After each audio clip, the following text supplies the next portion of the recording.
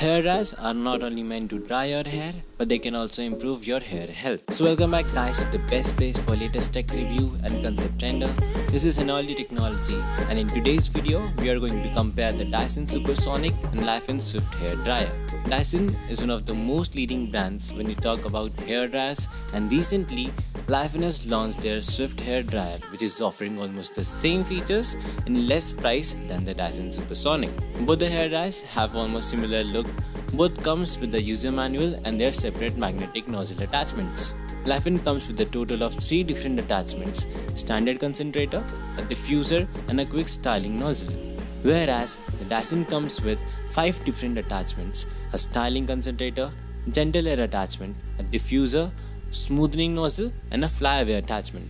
Along with that, it also comes with detangling comb, paddling brush and a presentation case. The diffuser disperses air evenly to reduce frizz. This is the perfect attachment if you have curly hairs or you want the wavy look. The gentle air attachment is recommended for the ones who have fine hairs and sensitive scalps. About the flyaway attachment, this glides on your hair and minimizes little flyaways which makes the hair smooth and shiny. The presentation case protects and neatly stores your dryer and its attachments. Laifen has an ergonomic and user-friendly design which reduces burdens on hand and is extremely lightweight. It weighs around 1.03 pounds, whereas the Dyson weighs slightly more, that is 1.09 pounds.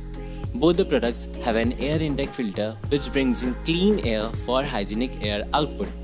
Here on the Dyson, it has a physical latch that locks into one specific point, whereas on Laifen, it is a magnetic snap on and off type which doesn't require any specific location to be locked. Apart from this while using the Laifen, the finger rotates the bottom part which a kind of feels like it is not locked which is not in the case of Dyson.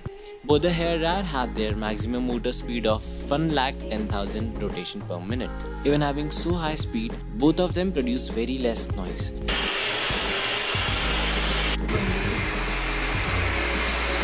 The reason behind so high speed is that it dry out your wet hair 50% faster than a regular dryer. Now let's talk about the buttons.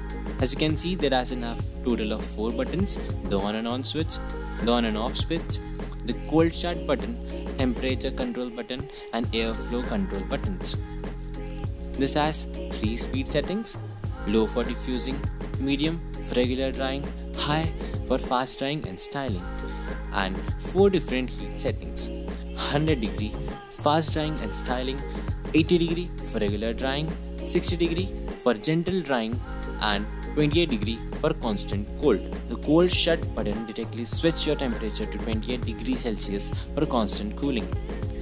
As the Dyson has 4 buttons, Laifen has only 2 of them. The one is a combined switch of airflow and the power on and off switch and the other is of temperature control. The combined switch make it more easy and quicker to go to your preferred airflow settings. They only have two airflow settings, low and high.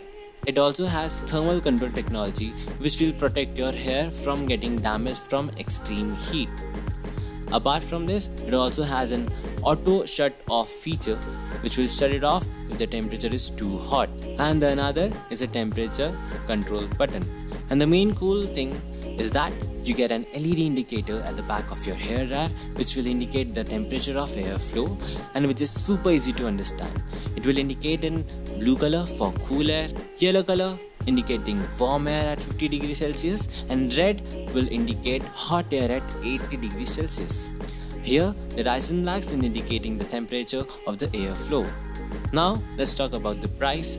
As you have seen, the Laifen is giving almost a similar feature as of the Dyson, that too in half of its price. The Dyson will cost you around $400